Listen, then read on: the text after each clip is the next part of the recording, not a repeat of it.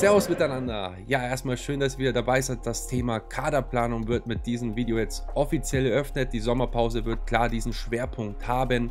Heute kümmern wir uns um alle Spieler, die den Verein eventuell verlassen könnten. Na, wir wissen natürlich nicht sicher, aber natürlich bilden sich hier Tendenzen. Wir schauen uns dazu jeden Spieler auch an. Ich werde über jeden Spieler Worte verlieren und gucken, wie lange der Vertrag noch geht. Na, es sind zum Beispiel auch Spieler wie Anne Meyer, wo der Vertrag 2025 ausläuft. Hier muss man natürlich dann auch irgendwann über eine Vertragsverlängerung sprechen. Ne? Ihr kennt ja das Thema, verlängert man da nicht, wird es wahrscheinlich, dass ein Verein eben 2025 dann ablösefrei verlassen kann. Solche Dinge wollen wir einfach mal jetzt unter die Lupe nehmen, wie es da ausschaut. Ja, und wenn ihr Lust habt, auf die Kaderplanungsphase mit mir durch die Sommerpause zu gehen und auch auf dieses Video, unterstützt gerne mit einem Däumchen hoch und natürlich vielen, vielen Dank allen meinen Mitgliedern, diesen Kanal auch einfach immer aktiv unterstützen. Ja, wir fangen an und das Ganze wird so ausschauen. Jure hat nämlich sehr viel zu tun und das wird uns jetzt, glaube ich, bewusst, wenn wir uns das Ganze hier angucken.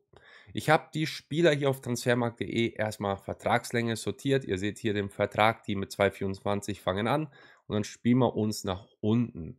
Raphael Framberger ist jetzt der erste Spieler. Ich habe mich jetzt hier bewusst verdeckt hinter diesem Bildschirm. Ich glaube, ich bin hier nicht so wichtig. Ihr hört ja, was ich sage. Ja, Frami, verletzt. Verletzungspech war da vorher auch ausgeliehen an Sandhausen. Ich glaube, dass hier keine Vertragsverlängerung zustande kommt. A, war seine Bundesliga-Qualität eh schon bei vielen so in Frage gestellt. Ja, und dann auch in Sandhausen war das jetzt nicht die überragende Spielzeit von ihm. Dann hat er sich hier nochmal schwer verletzt. Klar, er kommt aus unserer eigenen Schule sozusagen. Er ist ein Augsburger durch und durch. Nun sind wir auch ein Bundesliga-Verein, der natürlich Gehälter etc. zahlen muss. Raphael Framberger kann ich mir einfach nicht vorstellen, dass er uns qualitativ helfen kann, noch gerade mit den ganzen Verletzungen. Hier ist für mich tatsächlich eher ein Abgang wahrscheinlich. Ich weiß nicht, er ist 28 Jahre, ähm, da ist sicherlich noch für ihn was drinnen. Man hat schon, habe ich mal gelesen, überlegt, ob er beim FCH 2 spielt, aber ich bin mir nicht sicher, ob ich da jetzt falsch liege oder nicht. Möchte jetzt auch nichts Falsches sagen. Hier, glaube ich, macht man einen Punkt dahinter, dass der Vertrag nicht verlängert wird. Bei Thomas Kubek genau das Gleiche. Er ist lang im Verein, verdient auch wirklich ein ordentliches Gehalt. Irgendwie ist er am Ende immer geblieben, weil er sehr beliebt in der Mannschaft ist. Aber letzten Endes muss man auch ganz ehrlich sagen, seine Leistungen jetzt zuletzt, wo er auch für Namen ersetzt hat, auf der Linie schon echt gut, was er teilweise rausfischt. Aber gegen Bremen ein individueller Fehler. Jetzt auch im letzten Spiel gegen Leverkusen na, er ist einfach keine Nummer eins, er ist zu fehleranfällig und ich glaube, dass bei aller Sympathie und Wichtigkeit für die Kabine am Ende zählt auch hier die Leistung. Hier Feierabend ist, auch wenn ich ihn schon irgendwie vermissen werde. Thomas Skubeck, glaube ich, wird auch den Vertrag nicht verlängern und es braucht dann auf jeden Fall noch einen zweiten Torhüter ähm, für die kommende Transferphase, aber das, da beschäftigen wir uns in einem anderen Video. Mbabu, ein Spieler, der sicherlich sehr interessant ist. Sein Marktwert ist bei dreieinhalb Millionen. Die Laie ist definitiv geglückt. Er ist auch bei der Schweizer Nationalmannschaft im erweiterten Kader. Ähm, ich würde ihn sehr gerne behalten. Ich glaube, da gehen auch viele mit. Sein Niveau war vor allem in der Phase, wo wir viele Spiele gewonnen haben, sehr gut. Gerade mit Freddy Jensen hat er super harmoniert über rechts. Er ist 29 Jahre in einem guten Fußballeralter. Ich finde die Ablöse auch völlig okay. Nur hier wird das Thema, denke ich, sein Gehalt. Er wäre, wenn er bei uns unterschreibt, muss er Gehalt einbüßen einnehmen. Wäre aber wahrscheinlich auch einer der Top-Verdiener, wenn er kommen würde. Er wird die Optionen aber auch abwiegen, hat er selber gesagt, welche Vereine anklopfen etc. Europa hätte hier sicherlich geholfen, ihn zu überzeugen. So hat er auch, meine ich, selber betont. Wir haben es nicht geschafft, wir sind Elfter geworden. Aber Mbabo ist grundsätzlich nicht unglücklich hier gewesen Jure hat gesagt, man möchte um ihn kämpfen und ihn behalten. Hier ist tatsächlich die Chance bei vielleicht sogar 40, 60 oder 50, 50, dass man ihn am Ende doch verpflichten kann. Aber wie gesagt, ähm, es kann natürlich genauso kommen, dass er uns verlässt. Also die Wahrscheinlichkeit ist sogar relativ hoch, dass er nächstes Jahr nicht bei uns spielt. Aber ich gebe dem Ding nochmal eine 50 Prozent, weil die Aussagen ja nicht so schlecht waren in den letzten Wochen. Pep Biel, Laie, 5 Millionen Marktwert. Hier haben wir, glaube ich, auch eine Kaufoption in dem Dreh. Also wir haben eine Kaufoption, die ist mit 5 Millionen irgendwo da in der Nähe. zumindest mein Stand. Und das ist zu hoch. Er hat zu wenig gezeigt. Jetzt auch im letzten Spiel hat er sogar Mert Kömür für ihn auf der 10 gestartet, obwohl das eigentlich seine Position ja auch mit ist. Ne? Er ist natürlich auch auf Flügel einsetzbar und offensiv im Sturm auf der 8. Aber das war schon bezeichnend. Er hat sich nicht durchsetzen können. Vielleicht sagt er es, ja, ist ein Rohdiamant, den man noch schleifen muss, jetzt einfach die nächsten Wochen. Aber ehrlich gesagt war das für mich auch einfach zu wenig. Gerade in der Bundesliga hat er dann, wenn es drauf ankam, nie wirklich so performt. Nur in den Testspielen war er mal gut. Und hier sage ich auch, eher keine Kaufoption wird man ziehen. Die ist einfach viel zu hoch. Also das wird mich extrem überraschen. Christian Jakic hier ist schon relativ sicher, die Kaufoption wird gezogen. Er wird ein FC Augsburg-Spieler. Ich glaube, das ist sogar schon fix, nur hier nicht aktualisiert. Hier mache ich mir auf jeden Fall keine Sorgen. Der Spieler wird in Augsburg bleiben. Er ist glücklich, hat gerade auch, wo er kam, in den ersten Wochen überragend gespielt. Hat dann auch in den letzten Wochen einen kleinen Leistungsabfall, war aber auch, glaube ich, nicht 100% fit. Er bleibt und da bin ich auch sehr froh drüber. Kaufoption ziehen, die völlig richtige Entscheidung. Jago, mach mal kurz, wechselt nach Brasilien, die Heimat. Hier bedanke ich mich für alles, was er gegeben hat. Man hat gerade, wo er gefehlt hat, in den letzten Wochen in der Raute gemerkt, auf der linken Position, wenn er fehlt.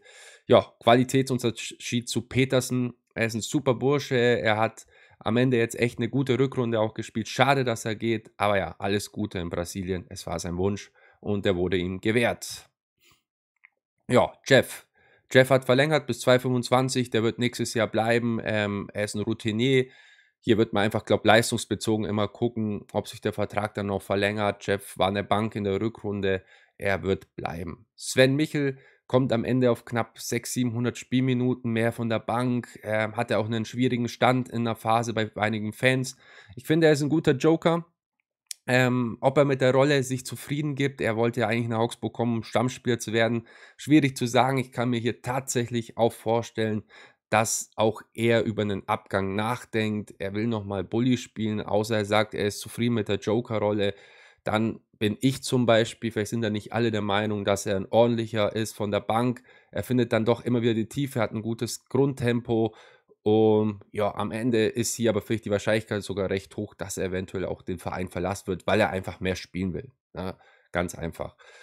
Freddy Jensen ähm, hat seinen Vertrag ja auch gar nicht so lange her verlängert. Es ist jetzt doch, jetzt jetzt, ich glaube schon langsam, aber ja, sein Vertrag geht bis 2025. War für mich unter Torup einer der positivsten Überraschungen, wo er ausgefallen ist.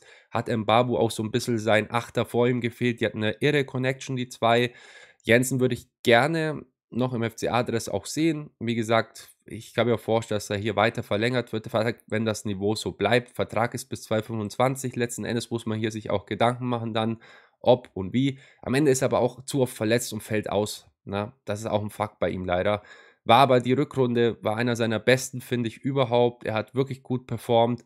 Ähm, er wird nächstes Jahr, denke ich, bleiben und dann wird man auch gucken, wie die Leistung ist und dementsprechend den Vertrag eben verlängern oder nicht. Felix Urukai hier müssen wir gar nicht drüber sprechen. 7 Millionen Mark wert. Vertrag läuft 2025 aus, hat er letztes Jahr ganz spät verlängert. Er ist ein Spieler, der sicherlich Qualität hat. Der kam immer besser in Form, war einfach auch nicht verletzt. Das hat man dann gemerkt, gerade mit Jeff in der guten Phase, top hinten, alles wegverteidigt, in der Luft, der stärkste bei uns, was Thema Kopfballduelle gewinnen angeht. Linksfuß wird auf dem Markt für viele interessant sein. Ich glaube, er will den nächsten Schritt machen, würde ich ihm nicht verübeln. Wollte er schon letztes Jahr, hat es nicht geklappt. 7 Millionen Marktwert, wenn man für ihn wirklich eine ordentliche Ablöse hier zieht, ne, versuchen sogar über den Marktwert, weil ich finde, er ist ein guter, er kann gutes Niveau spielen. Wenn er gesund ist, ist es wirklich mit seinem Linksfuß ein top solider Innenverteidiger, 26 Jahre.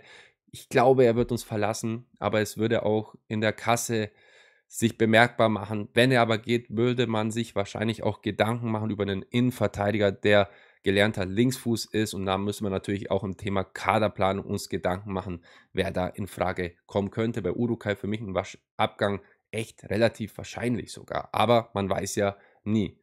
Gehen wir hier ein bisschen runter. Arne Meyer ist hier der nächste Spieler, den wir beobachten. Rückrunde gut, hat sich in die Mannschaft gekämpft nach Hinrundenschwierigkeiten, wo er kaum gespielt hat.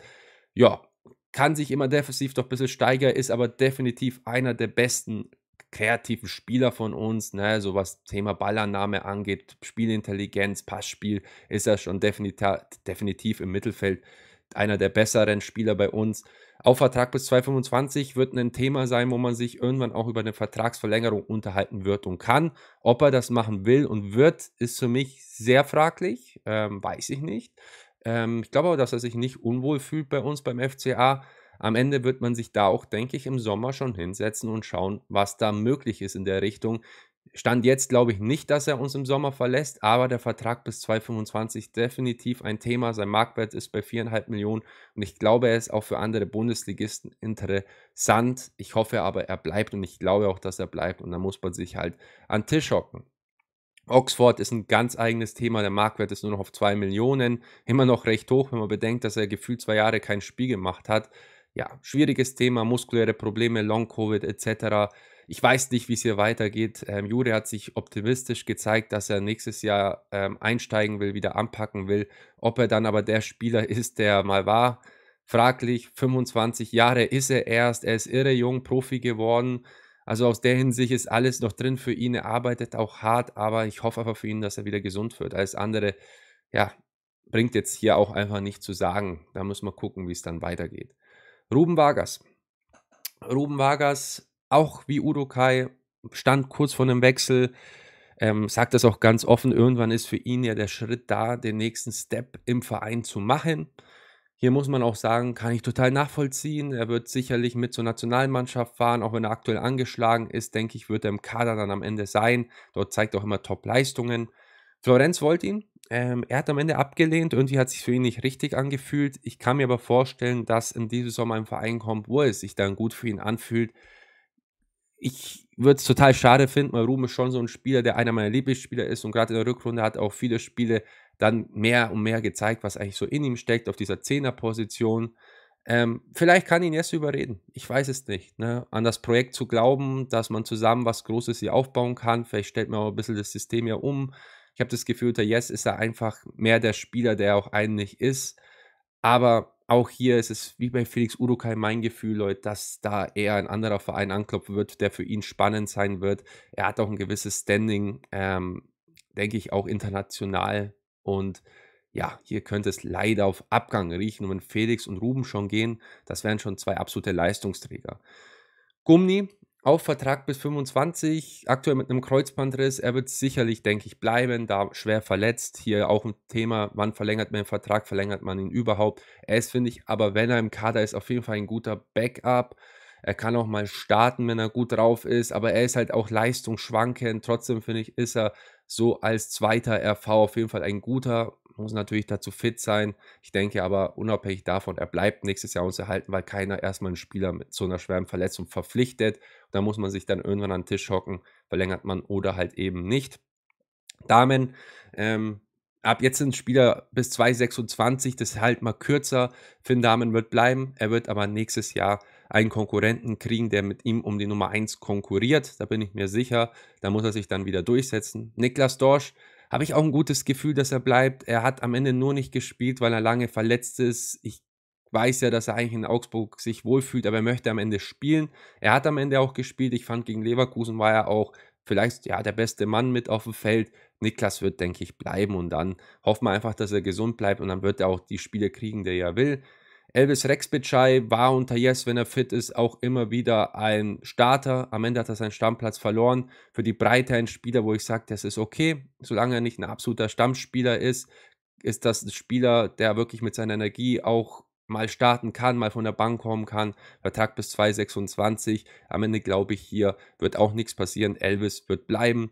Ermedi Demirovic, ja, 28 Millionen Markwert. Für mich sehr hoch, muss ich sagen. Ich habe so das Gefühl, wenn ein Verein anklopft mit 20 Mille plus, dann sollte man drüber nachdenken, weil es am Ende ja auch, Jure hat es gesagt, wenn man ihn damit die Option öffnet, international zu spielen, Euroleague, Champions League, und er diesen Schritt machen will, hätte er es auch verdient, nach dem, was er hier geleistet hat. Zweitens würde der Verein von dieser hohen Ablöse und diesem hohen Marktwert dann extrem profitieren.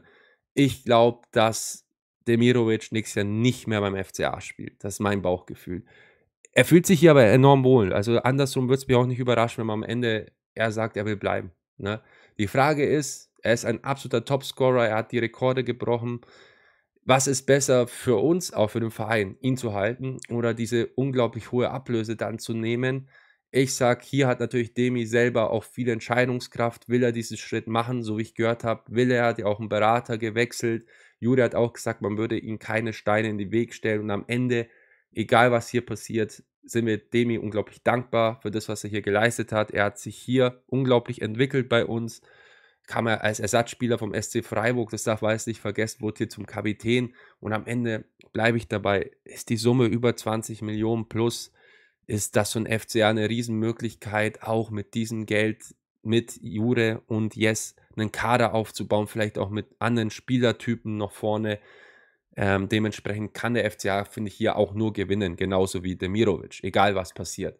Marcel Lubik muss gucken, er wird nächstes Jahr, wenn er bleibt, die Nummer 3 wahrscheinlich bleiben, weil der FCA einen neuen Torhüter holen will. Könnte man auch über eine Laie nachdenken, damit der Bursche Spielpraxis sammelt. Philipp Tietz, Vertrag bis 2027, spielt viel, wird bleiben. Halten wir es ganz kurz. Petersen genau das gleiche. Wird der Backup auf LV bleiben. Ich betone bewusst Backup. Er ist für mich kein linker Verteidiger, den du als Stammspieler haben darfst und kannst, wenn du wirklich höher denken willst. Er ist mal spielt er gut, mal schlecht. Er ist oft verletzt, auch hat Wehwehchen, ne, kann aber wirklich als Backup finde ich ihn absolut solide, weil er auch rechter Verteidiger spielen kann. Aber nicht als Starter. Hier muss der FCA zwingend Qualitätsspieler holen. Maxi Bauer wird, denke ich, bleiben. Hier ist natürlich die Spielzeit nicht so hoch, wie er sich vorstellt. Er hat einen Marktwert von dreieinhalb Millionen. Bei ihm habe ich aber so ein bisschen das Gefühl, dass er sich in der Rolle trotzdem ganz wohl fühlt. Hier denke ich, dass er bleibt, aber man kann natürlich auch nicht in die Zukunft schauen. Patrick Pfeiffer, zweieinhalb Millionen Markwert, hat zuletzt ein paar Spiele gespielt. Einer, der natürlich auch, glaube ich, den Ehrgeiz hat zu spielen und nicht zufrieden ist, wie die Saison jetzt allgemein lief.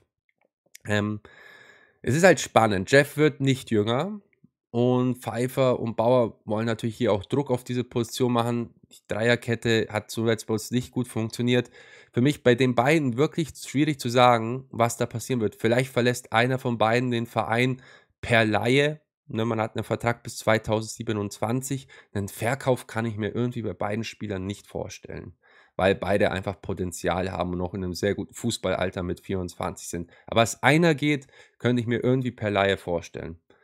Arne Engels, gar keine Frage, wird bleiben. Dion Bellio, ja, was machen wir mit ihm? Auch knapp 600, 700 Spielminuten nur im ganzen Jahr, wie Sven Michel, hat total unter Jestoro seinen Starter verloren, auch immer weniger eingewechselt wurden, nur Kurzeinsätze. Jeder glaubt oder viele glauben an sein Potenzial. Wenn Demirovic geht, wäre da ein Platz mehr vorne im Sturm, aber er wäre wieder im Konkurrenzkampf mit Philipp Tietz. Er kann mir nicht vorstellen, dass die beiden übereinander sehr gut funktionieren. Wenn du mit einem Doppelsturm spielst, brauchst du dann eh dem einfach einen mobileren Stürmer, wie Demirovic einer ist, der dann das Ganze ergänzt. Und ich glaube, falls Demi geht, wird man dann einen 1 zu 1 Ersatz suchen oder man stellt eben auf eine Dreierspitze um. Dann spielt halt nur vorne ein Neuer mit Tietz oder Bellio. Dann wäre es natürlich auch spannend für Dion, weil dann hättest du halt nur den Kampf um diese eine Stürmerposition. Ähm, spannend. Also Bellio ist sicherlich nicht zufrieden. Sein Berater wird sich auch anhören, was da so kommt. Ähm, für ihn persönlich sehr enttäuschend das Jahr und ich kann mir auch vorstellen, dass hier was passiert. Ich würde aber hier auch nur über eine Laie nachdenken. Ihn zu verkaufen, hätte ich irgendwie kein gutes Gefühl. Immer noch nicht. Vertrag bis 2027, Marktwert 5 Millionen. Spannende Personalie, gut möglich, dass es im Sommer hier zu einer Laie oder zu einem Transfer kommt. Kömür wird nächstes Jahr bleiben. Er hat letztes Spiel wirklich überzeugt. Das ist der Augsburger Weg. Der Bursche wird das packen in die Profimannschaft, wird nächstes Jahr viel mehr Spielzeit kriegen, ist beidfüßig. Wirklich ein geiler Kicker, der Mert. Da machen wir gleich den Sack zu. Der bleibt beim FC Augsburg, wird nächstes Jahr auch mehr spielen. Da legt meine Hand ins Feuer.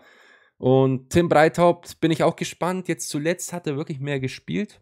Auf der tiefen 6 hat er, finde ich, auch Jakic sehr gut vertreten. Vertrag bis 2028, Marktwert 3 Millionen. Geliebäugelt wurde er mit einer KSC-Rückkehr per Laie mal. Ich kann mir nicht vorstellen, dass der FC Augsburg ihn verkauft. Da müsste man schon sehr blind sein. Er hat Talent, er ist erst 22 Jahre, er ist ballsicher. Ähm, hier, wenn überhaupt, wird es eine Laie geben. Da wird man sich natürlich fragen, wie viel Spielzeit kann man dem Burschen am Ende geben. Wir wissen jetzt halt nicht, wie der Kader am Ende ausguckt. Und ja, Tim Breithaupt kann man, wie gesagt, nachdenken. Aber dazu muss man auch schauen, wer verlässt uns auch im Mittelfeld. Ich glaube, da wird nicht so viel passieren. Und dann muss man halt schauen, was am besten für den Burschen ist, für seine Entwicklung. Wie gesagt, der KSC hat ja mal angeklopft und werden sicherlich viele andere Vereine auch, ähm, wenn der FCA die Türen aufmacht, anfragen wie eine Laie. Einen Verkauf kann ich mir hier einfach nicht vorstellen, weil Tim hat schon wirklich Talent. Leute, ihr könnt mir kurz und gerne eure Meinung in die Kommentare schreiben, ähm, wie ihr das Ganze seht. Gab bei den Spielern, wo ich als Abgänge eher gesehen habe, na, machen wir mal das Horrorszenario Urukai, Vargas und Nemirovic gehen. Das wären drei der Top-Spieler unseres Kaders. Würde aber ordentlich Geld in der Kasse einbringen. Wenn wirklich alle gehen, hätten wir wahrscheinlich 30 plus Einnahmen. Ne? Wäre hart, wäre enorm schwer zu ersetzen, aber man könnte mit 30 Millionen dann, wo man dann einnehmen würde, circa plus minus, R plus sicherlich auch auf dem Transfermarkt richtig was tun. Und ich finde das auch spannend, weil Jes Torup sicherlich mit Jure da ordentlich was vorhat. Und ich bin einfach gespannt, was wir da dieses Jahr machen. Und ihr seht, es ist einiges möglich. Es sind auch paar Jungs mit 225 Verträgen, die sicherlich auch dann, mit denen man sprechen muss, wie es da weitergeht dann. Und ja, hat mir sehr viel Spaß gemacht, darüber zu sprechen. Wenn euch das Video gefallen hat, Daumen hoch. Schreibt mir jetzt eure Meinung in die Kommentare. Wie gesagt, danke allen Kanalunterstützern und Mitgliedern, die mich hier so unterstützen. Und ja, jetzt die nächsten Wochen viel Kaderplanung hier. Und wir werden uns da natürlich jetzt auch im nächsten Video damit beschäftigen, auf welcher Position muss der FC Augsburg so auf jeden Fall nachlegen. Und dann seid ihr auch gefragt, welche Spieler so in Frage kommen. Und dann schauen wir mal, was so alles passiert. Euer Dennis und ciao, ciao.